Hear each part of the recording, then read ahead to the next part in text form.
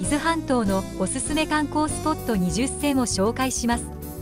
伊豆は海や山緑に囲まれた自然が豊富な人気観光地です。この動画では伊豆の魅力を4つのエリアに分けてご紹介していきます。東伊豆エリアでは大室山や城ヶ崎の断崖景観。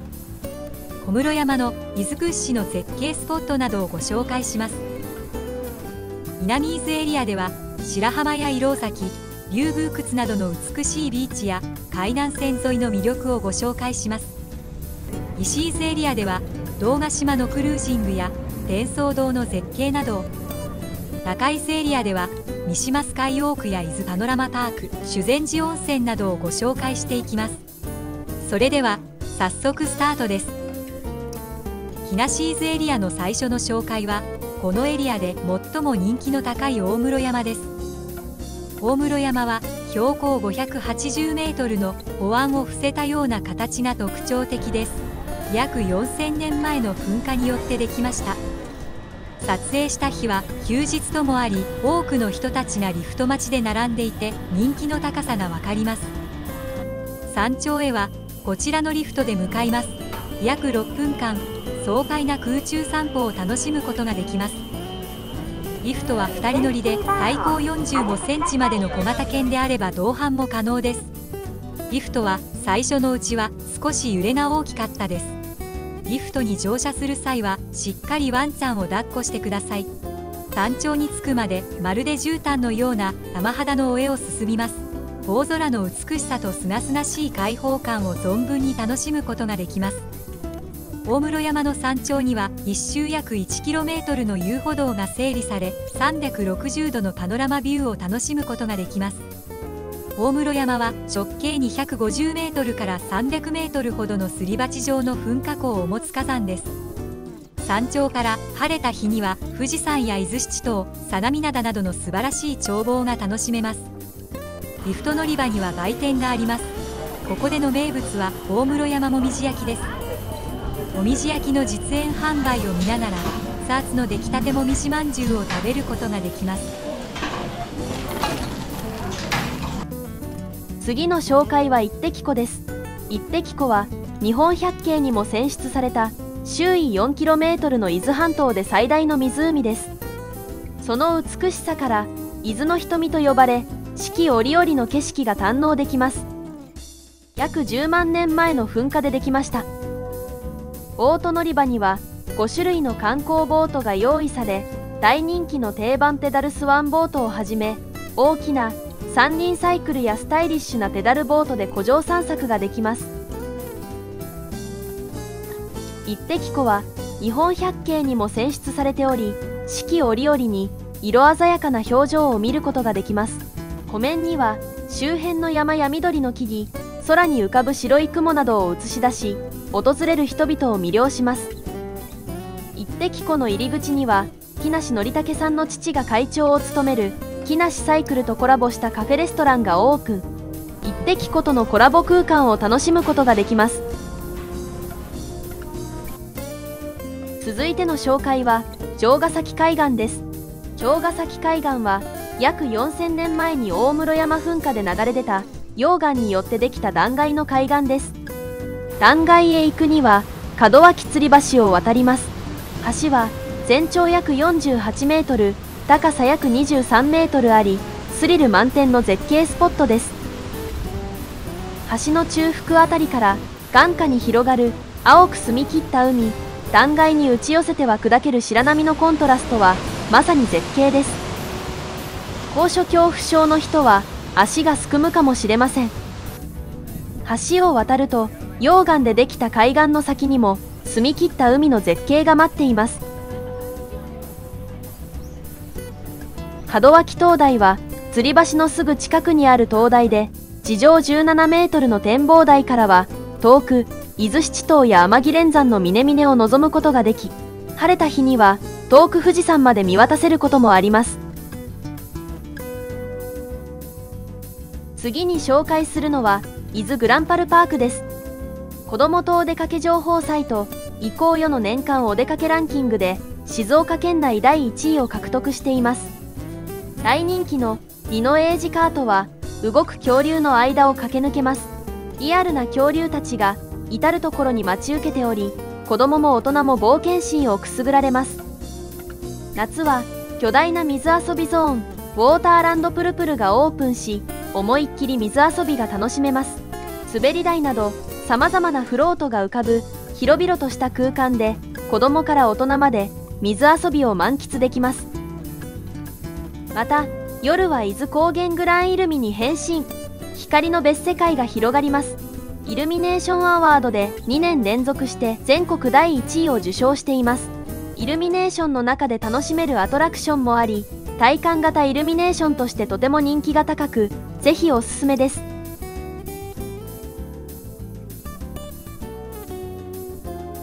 山リッチウォーク美空は標高321メートルの比較的小さな山ながら。山頂からは360度のパノラマビューを楽しむことができる伊豆半島屈指の絶景スポットです。山頂へは麓のキッチン218から出ているリフトに乗ります。ちょっとレトロな雰囲気のリフトに揺られながら心地よい風を受けて約5分間の至福の時を楽しみます。山頂には木製の遊歩道全長約166メートルが整備されています。起伏を生かして作られており景観を楽しみながら山頂をぐるりと回ることができます。晴れた日は遠くに富士山や相模灘伊豆七島西には天城連山まで見渡すことができます。また山頂には2021年オープンしたカフェ321があり全席から青い海と空を見ながらドリンクを味わうことができます。2024年チャランが実施した癒しの景色が眺められるカフェスポットで全国4位に選ばれています。店の奥にはカフェ利用者専用のウッドデッキと展望ブリッジがあります。ブリッジは空中に突き出すように設置されており手すりが全てガラスのため景色に溶け込んでいてフォトスポットとして大変人気が高いです。ぜひ小室山リッチウォーク美空でここでしか体験できない絶景を味わってみてください。次は熱川温泉をご紹介します。熱川温泉には多くの源泉が点在しその数は100を超えます。またそのほとんどが高温で豊富な湯量を誇っています。今回は熱川オーシャンリゾートを紹介させていただきます。こちらのホテルについては別の動画で紹介していますのでよろしければご覧願います。熱川オーシャンリゾートは75室ある全ての部屋がオーシャンフロント。どの部屋からも太平洋の雄大な景色を楽しむことができます。部屋はブルーの落ち着いたトーンで部屋全体のインテリアと調和しています。リラックスできる空間を演出しリゾートの高級感を引き立てています。食事は新鮮な地元の海の幸や山の幸をふんだんに使った絶品料理が魅力です。またレストランから望む景色をバックにロマンチックな食事を堪能することができます。夏の夜のプールは幻想的な雰囲気を演出しライトアップされた水面がロマンチックな空間を作り出します。片側オーシャンリゾートは快適なひとときを提供してくれます。片側バナナワニ園は温泉の熱を利用したユニークな展示施設です。世界中のワニやレッサーパンダをはじめとする動物と熱帯植物などを展示しています。中でもワニは世界でもトップクラスの16種類約140頭ものワニが飼育されておりその迫力満点の姿を間近で観察できます。立ちワニや下から覗くワニの展示は他では見られない貴重な体験です。レッサーパンダは現在10頭が飼育されており国内有数の規模を誇ります。可愛いレッサーパンダがたくさんいていつまでも見飽きることはありません。手を掃除してくれる魚ドクターフィッシュはとてもくすぐったい体験です。収穫されたバナナで作ったバナナソフトクリームは濃厚でとても美味しくいただけました。熱帯植物園では色とりどりの花々や果物が咲き誇りまるで南国にいるかのような気分を味わえます。片側バナナワニ園は動物と植物の両方を楽しめるスポットです。家族連れやカップルにもおすすめです。伊東マリンタウンは伊東市に位置する人気の大型の道の駅です。多くのレストランやカフェがあり新鮮な海の幸を堪能でき会場から伊豆の海を観光することもできます。中でも伊豆高原ビールの漁師の漬け丼や伊豆中番場食堂の金目鯛を使った料理は絶品です。お土産ショップも充実しており地元の特産品やオリジナルスイーツを購入することができます。ここでは静岡で有名な朝霧牛乳のとろり焼きたてミルクチーズケーキをいただきました。とてもしっとりとしていて中から出てくるミルクチーズは初めての食感でとても美味しかったです。その他にシーサイドスパでは露天風呂や大浴場から美しい伊豆の海を一望でき心身ともにリラックスできます。また遊覧船春平丸イルカ号やユーミンフックに乗れば海上からの絶景と海中の美しい景色を楽しむことができます。伊東マリンタウンは伊豆の自然と食を満喫できる訪れる価値のある場所です。ここからは伊豆西エリアの見どころをご紹介していきます。堂ヶ島天窓堂クルージングは冒険心をくすぐる体験と心に残る美しい風景を提供してくれる特別なひとときです。天窓堂は氷海岸でできた海食洞窟で日本版の青の洞窟と称されています。クルーザーからは陸から見ることのできない絶景を堪能することができます。海底火山からの噴出物と海流の浸食によって形成された縞模様の地層やマグマが冷え固まった岩脈柱状節理などが楽しめます。ボートが洞窟内に入ると天井の穴から差し込む光がエメラルドグリーンの海面を照らし幻想的な光景が広がります。特に晴天の日には海と光のコントラストが一層鮮やかで刻々と変わる光と水のコントラストは圧巻です。夕日の時間帯には海と空がオレンジ色に染まり息を飲むほどの美しさを見せます。天窓堂は地上から見ることもできます。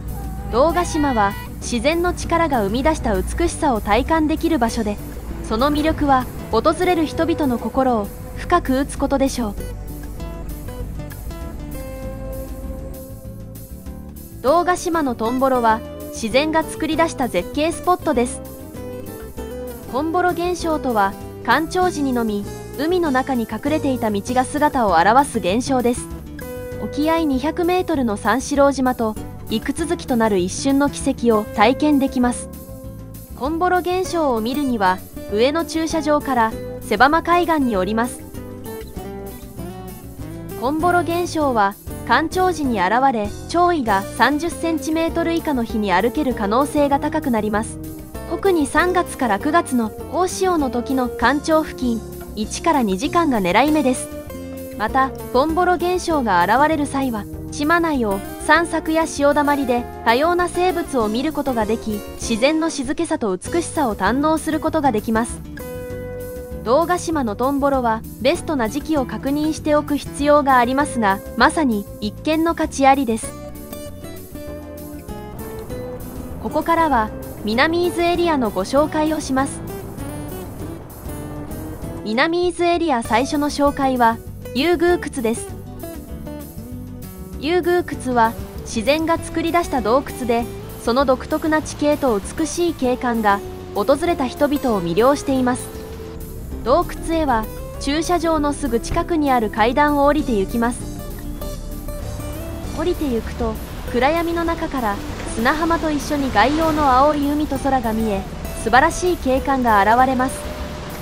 遊宮窟は洞窟の天井が崩れ直径約50メートルの天層が広がり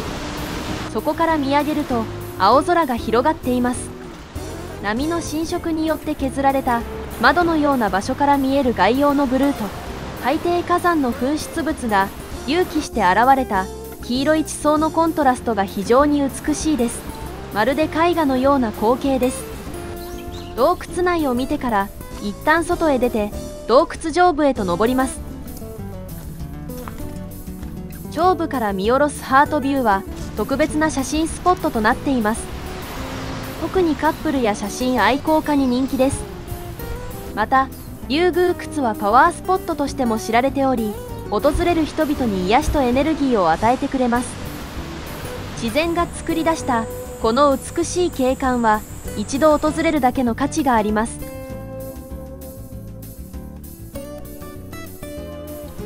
次に紹介するのは白浜神社です。白浜神社は砂浜にそびえる赤い鳥居と青い空。透明度の高い紺碧の海のコントラストが訪れる人々を魅了します。毎年30万人もが訪れる白浜大浜海水浴場のすぐ北側に位置します。駐車場から海に向かうと両側から葉が茂った通路が現れます。通路を抜けた先には青く突き抜けるような空と海が広がり岩の上に朱色の鳥居が現れてきます。鳥居まで進むと目に飛び込んでくる。一面のブルー朱色と青の鮮やかなコントラストに思わず息を飲みます。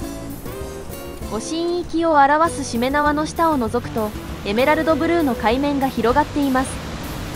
赤い鳥居は時間や季節ごとに異なる表情を見せるため訪れるたびに新しい感動があります。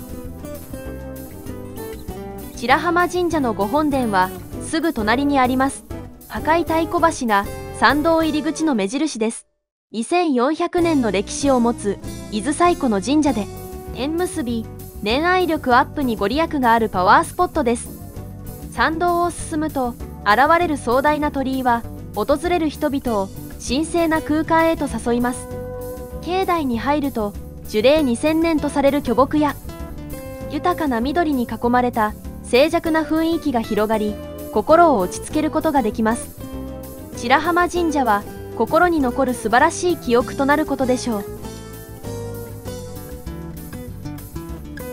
色崎オーシャンパークは伊豆半島の最南端に位置しています。2019年にオープンし広々とした駐車場が整備されています。オーシャンパークの最大の見どころ色崎灯台へ行く際は最初に鳥居をくぐります。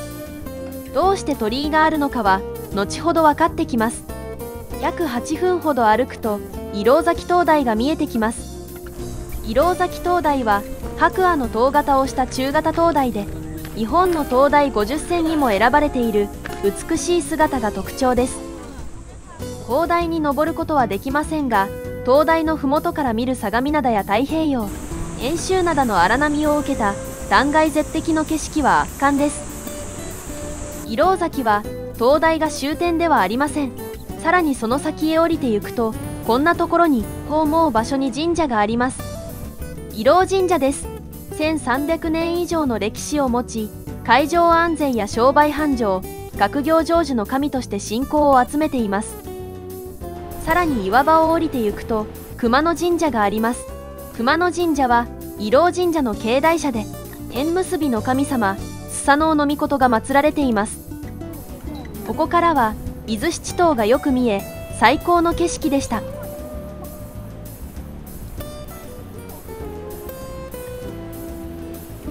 またオーシャンパーク内には休憩棟や売店もあり地元の特産品や限定メニューを楽しむことができます。今回は絶景を見ながらこちらのドリンクを飲んで一息入れました。色崎の壮大なパノラマビューと歴史と自然を感じてはいかがでしょうか。次に紹介するのは色崎岬巡り遊覧船です。先ほどご紹介した色崎灯台などのダイナミックな景勝地の景観を海上から楽しむ岬巡りです。こちらのマリンバード号定員85名にて遊覧します。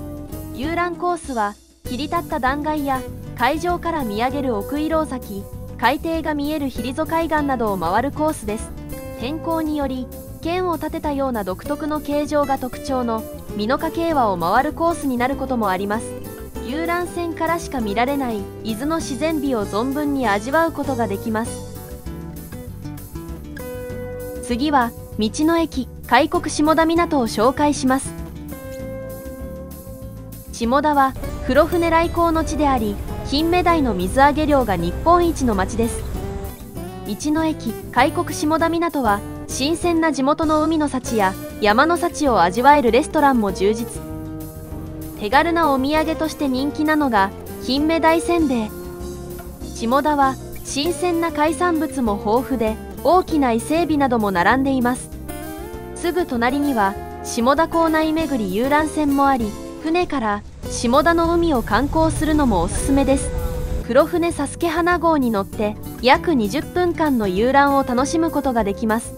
炎天島根姿山など幕末の歴史にちなんだスポットを巡ることができます。一の駅開国下田港は旅行の途中でぜひ訪れてほしい場所です。ここからは中伊豆エリアの見どころをご紹介します。三島スカイウォークは日本一長い歩行者専用吊り橋でその全長は400メートルに及びます。橋の上からは晴れた日には富士山や駿河湾伊豆半島の絶景を一望できまさに息を飲む美しさです。また三島スカイウォークはアクティビティも充実しています。ロングジップスライドは空を飛んでいるかのような感覚を楽しめます。往復560メートルの長さを誇り風を切って滑空する瞬間はまるで大空に羽ばたく鳥になった気分です。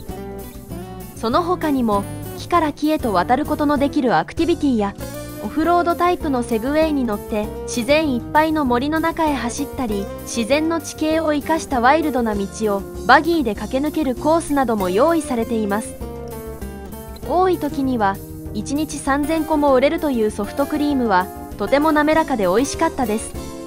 三島スカイウォークは自然の美しさとアクティビティの楽しさを兼ね備えた訪れる価値のある観光スポットです。